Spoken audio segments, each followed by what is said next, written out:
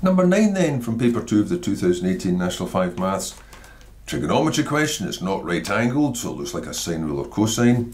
It gives the information which I've put into this diagram. Notice it's nothing to do with bearings, so you don't need norths or anything.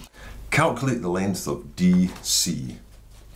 Well, the first thing you should notice straight away is you've got an opposite pair. You've got a side and its subtending angle, the pair that goes together. So to find DC, I want this angle. Well, that's the first thing you do, and you just show in your diagram. If that's 75 and it's 180 altogether, that's 105. Now you could just go straight in with it. You could go to the front and say A over sine A is B over sine B, etc. There are B's well, there is a C as well, but there is a well out of it. That's just the form. I would just go in with, if it wants to call that CD, I'm just going to call it CD. In fact, they don't want to call it CD, they want to call that DC. So DC over the sine of its angle, 105 degrees, is the same as the pair you know, which is the 20 over the sine of its angle. So that means DC is going to be Take this across and multiply 20 sine 105 over sine 37. And after you've put that into your calculator, that'll be it, because there's nothing else to do for the answer.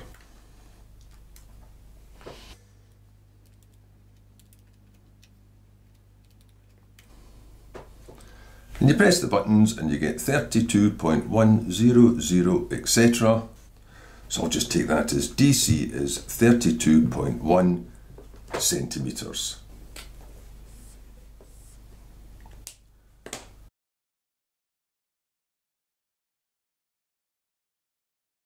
Number 10 then from little vector pathways question. You've got a diagram here and it tells you an additional couple of pairs of fact. In the end you've to find BC. How would you get from B to C if you're not allowed to travel along that path? Well, there's only one way you can go from B to C and that's the long way round.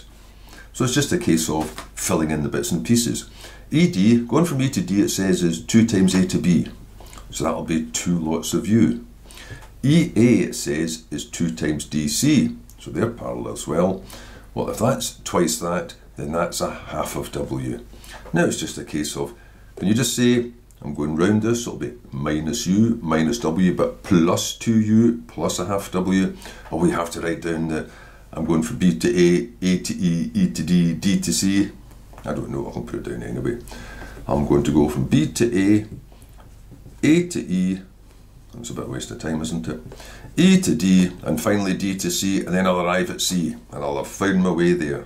So that was, now going this way, B to A is the opposite direction to U. Same with that. A to E is the opposite direction to W. But now I'm going with the flow, I'm with 2U, and I'm with the half W.